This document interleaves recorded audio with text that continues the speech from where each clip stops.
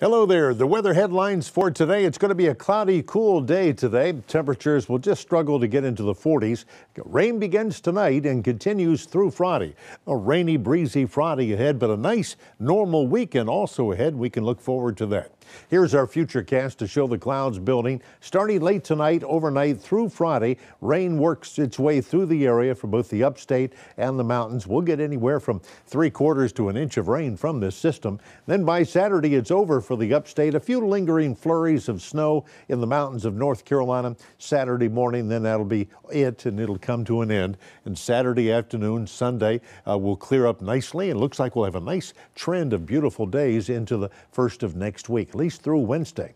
Over the next 12 hours, temperatures today will just reach upper 40s for Greenville, Spartanburg, Anderson, Greenwood, Asheville, Hendersonville, Waynesville, Brevard. We'll see upper 40s too, but clouds will be persistent. Then tomorrow, rain on Friday. Have the umbrella or rain jacket ready. High just 45. But Saturday, back to normal, which is 53 for this time of the year. Saturday and Sunday, lots of sunshine. Monday, Tuesday, Wednesday into next week, we'll actually hit some mid 50s on Tuesday and Wednesday. Wednesday. And the outlook for the mountains a very rainy Friday, a few flurries into Saturday morning, Saturday afternoon clearing 44, 46 Sunday, and back to normal for the first of next week.